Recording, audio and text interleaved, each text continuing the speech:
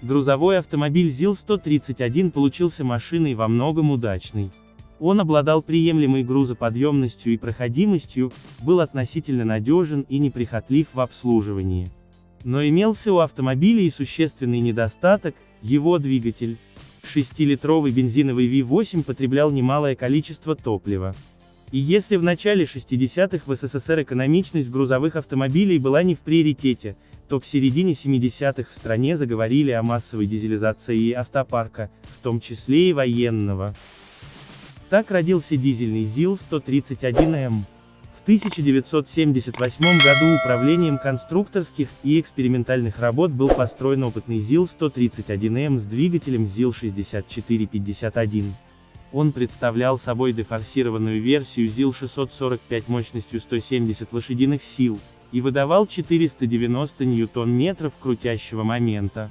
Важнейшим свойством мотора стала его многотопливность. Другими словами ЗИЛ-6451 без особых проблем мог работать на керосине, дизельном топливе, бензине либо смеси из этих видов горючего. ЗИЛ-131М от обычного 130 можно было отличить по удлиненному моторному отсеку и новым приборам головного света.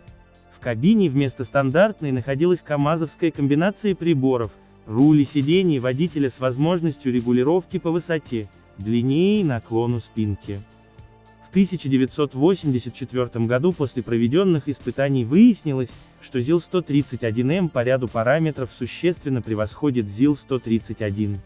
За счет лучшей экономичности, по контрольному расходу 131М имел запас хода в 1180 км, что почти на 300 км больше, чем у ЗИЛ-131. Разительно отличался и эксплуатационный расход.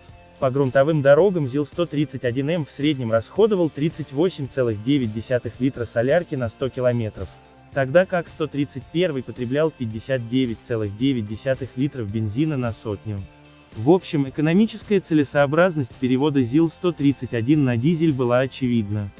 Вот только к середине 80-х ЗИЛ все еще не смог освоить поточное производство дизельных моторов.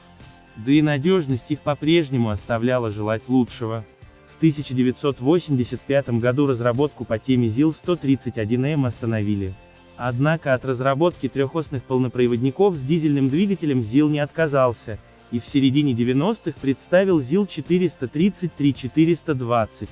Но это уже совсем другая история. А вам приходилось видеть дизельный автомобиль ЗИЛ-131? Напишите в комментариях.